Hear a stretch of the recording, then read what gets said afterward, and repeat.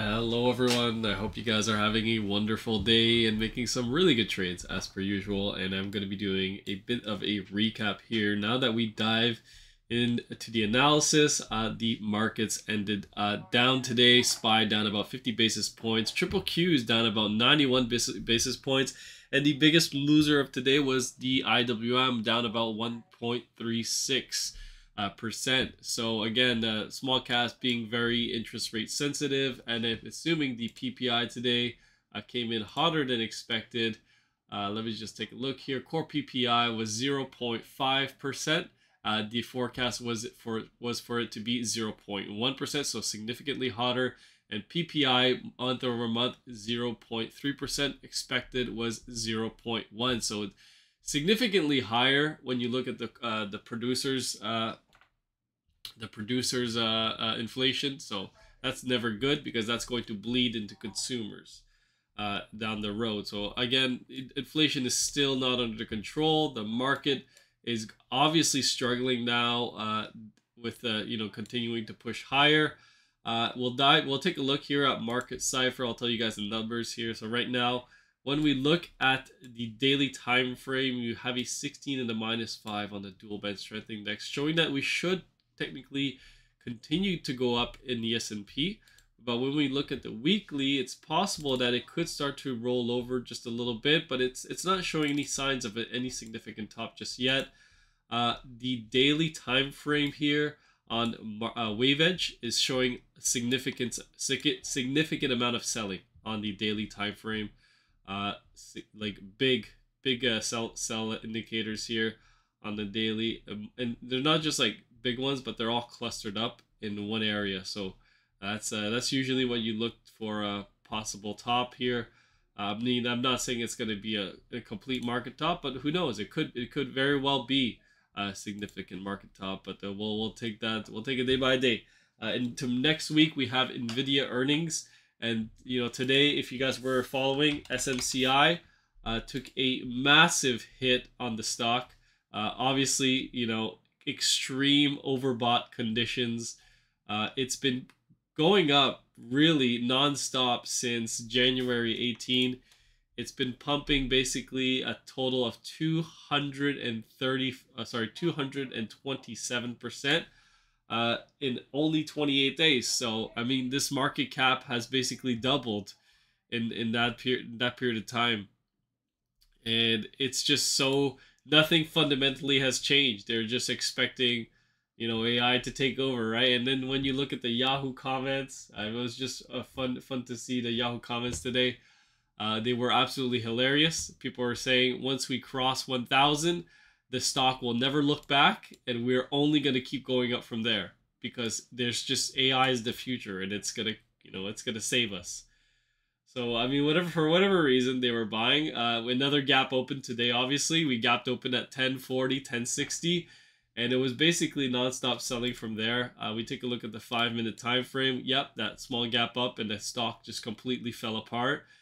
And it was all downside price action, so down about 20% today, or 19.99% in so one single day. It's down in the after hours as well. So we went from 1,000 to $800 a share in one single trading day. And I, I do believe that there is significantly more downside uh, because this this is this was not a natural uh, breakout. You know, this is this is a parabolic run, and it will end in in complete disaster because these these things usually do that. Uh, good example is MVIS. Uh, Microvision, when the stock went from $1.85 to $8.10 uh, within, uh, I believe it was 30, 30 to 40 days. Uh, and then the stock, you know what happened to the stock? You know. It did not just look, it, it, you know, it didn't cross $8 and never looked back. And it was only upside from there. The stock cratered about, uh, about, uh, you know, 75%, 72% within 90 days of that. So, I mean, like, it, it, that's just the way it goes. And you, there's, there's no real sense to uh, FOMO into these AI stocks right now what you want to be you know doing is probably playing defensive, getting out uh, getting out of these types of stocks and getting some nice cash cash positions. As you, we could be getting a, a dip next week, and I mean Nvidia earnings. A lot of people are bull, bullish on Nvidia earnings. When you look at the Nvidia earnings, uh, I mean, they've been beating uh, for the last four quarters that they've been reporting uh, nonstop, and they've been pumping ever since. And I, I've been look talking to a lot of people, and again, expecting another. Yeah, I'm expecting another thirty percent gap up tomorrow in Nvidia. Like, can't wait to like make like twenty thousand dollars on these these random calls that I bought, expecting one thousand dollars a share for for Nvidia anytime now. I mean, like, yeah, it could it could happen, but what's the is it really gonna add in you know this stock is now at a 1.79 trillion dollar market cap are you really going to add like they go you push it to a 30 uh, sorry a 2 trillion dollar valuation in just that period of time like uh, in, in the, like one trading day again like at one point you will get a hedge fund or a big seller that's just going to take profit and this thing will crater uh, but uh, and it has nothing to say that Nvidia is a bad company, but the stock these stock prices are just extremely overvalued and elevated, long in the tooth.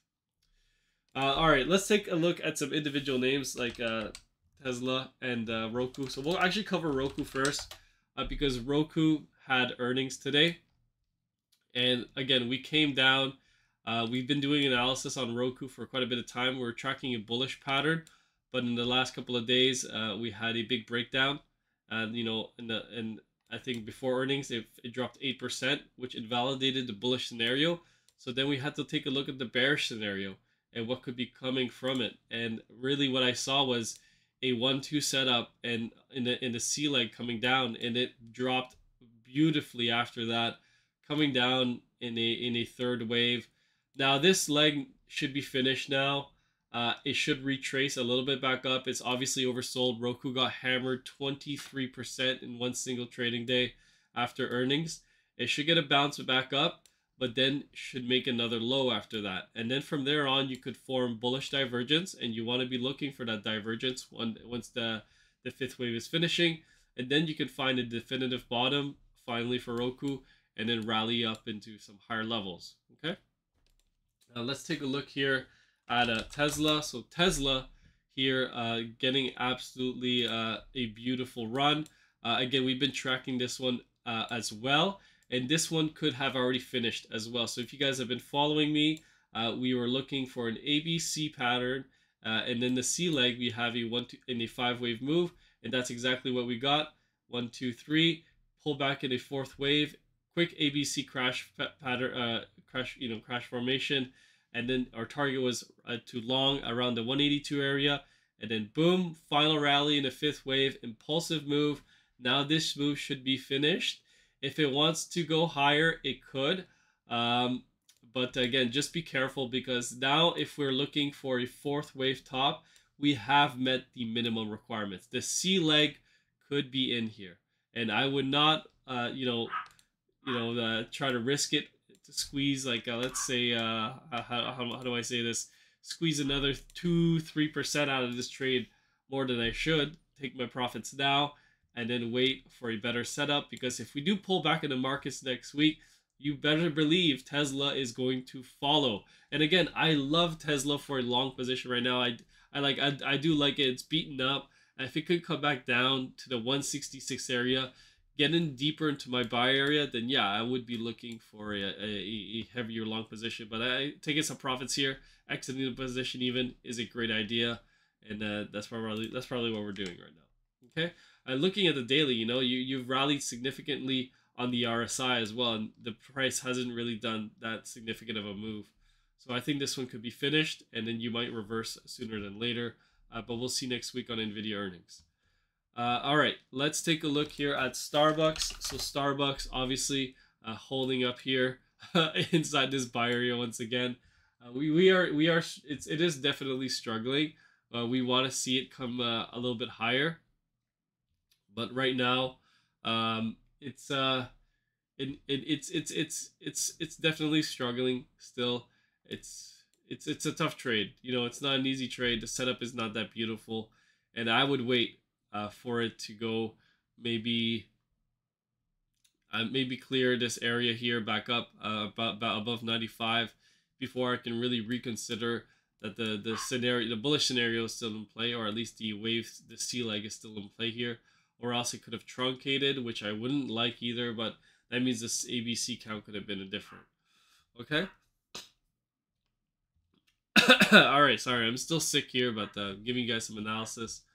Let's take a look at Mara. A lot of people like Mara right now, and they're big fans of Mara.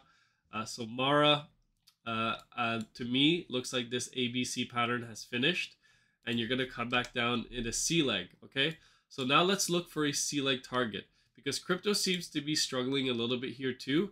Uh, not getting so much upside and kind of just hanging by a thread.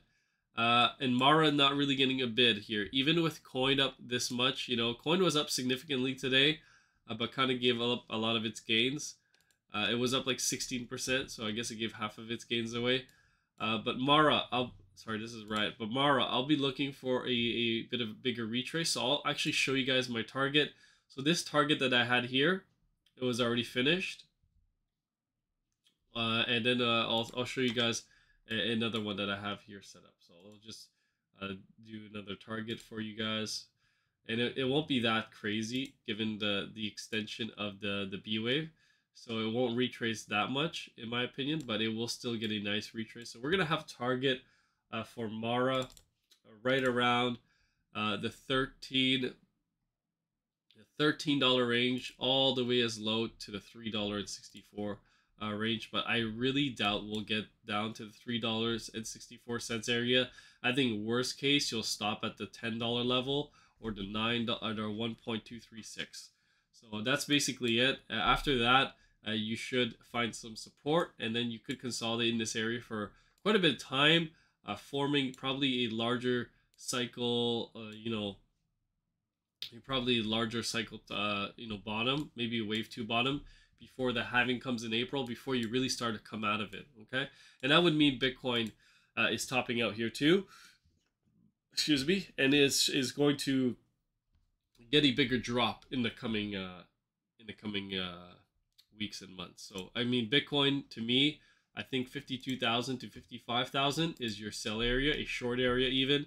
And then you could just write it down to possibly 30,000 to 35,000 where I'm going to be opening back along. So once the price gets back down to there, but again, there's no guarantee that it does that, but that's what I'm willing to bet on right now. Uh, okay, so let's head over and we'll take a look here at uh, some other other stocks. We'll take a look at uh, uh, not SMCI. We already covered that one at the beginning of the video, but we'll take a look here at Nvidia.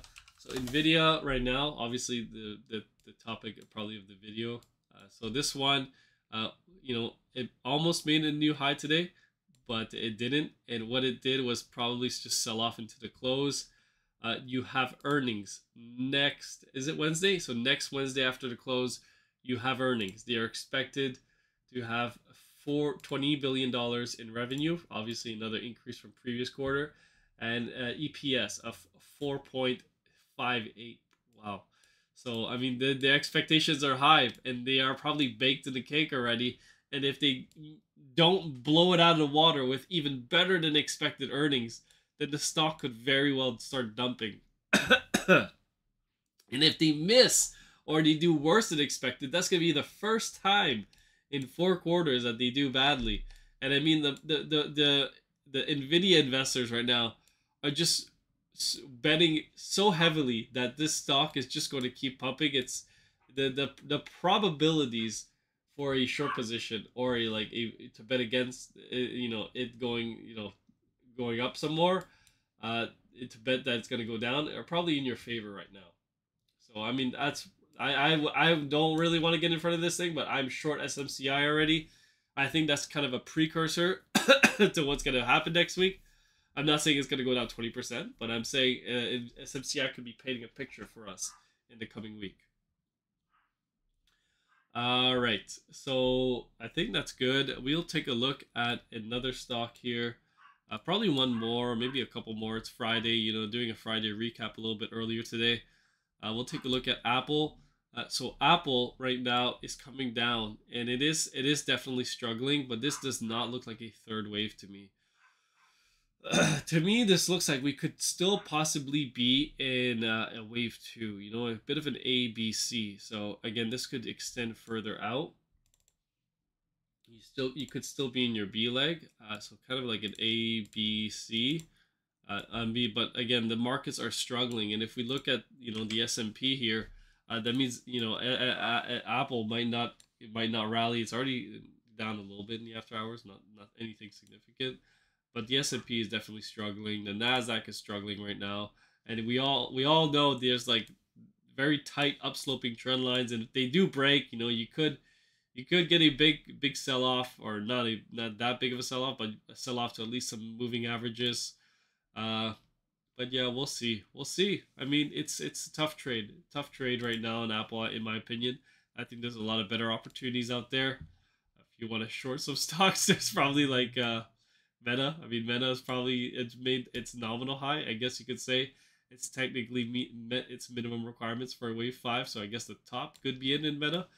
But after you know a 20% gap up for a dividend payment and you actually funny enough you have the dividend payment on wednesday too uh, which is going to be affecting the stock for the first time. Uh, all right.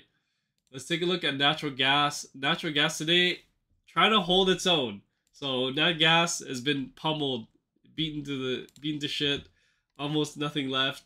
It's unrec you know it's it's trying to hold this level here at one dollar and sixty three cents. There's some some buying in the four hour, uh, but the daily. We'll take a look at the daily time frame on natural gas. It's been it's so it's so beaten up, beaten down to just almost is is very tough trade. Do you have a green dot confirmation on the daily? The weekly, however, shows that we could possibly extend even further. But are you due for a relief rally? Yes, you are. You are you are due for a relief rally you should get a retrace. You should get a retrace at any moment now. And if you, we are following this pattern, which is a fifth wave, uh, then what you should do is, uh, oops, right, let me just uh, get this on the primary cycle here. What you should do is you should come down in a third leg, which is what you're doing now, and you should pump back up in a wave four and then finish off with a nominal low with a, a, a, fifth wave. And then I'll end the larger cycle low for wave five. Uh, but again, a pump back even to the $2 range is a 23 to 24% pump. So that's probably what we're going to be looking for. We already have bullish divergence, so that's that's really nice to see. Excuse me. All right, uh, that's about it. Uh, I think we'll cover uh, oil here. Oil, again, very boring, but it is showing signs of strength. It is trying to breach this 70 $79, $78 level. If it can get some daily closes above 80, then that would be the confirmation that we're going to go higher. But for now, we're still struggling here, and I think there's some better trades out there than oil. Let's take a look at the TLT and the yields. So, I think we covered the TLT the other day, right? And funny enough, uh, you know, with the TLT getting rejected from our sell area, excuse me, oh my goodness, let me get some water. Let me get some water. I got some water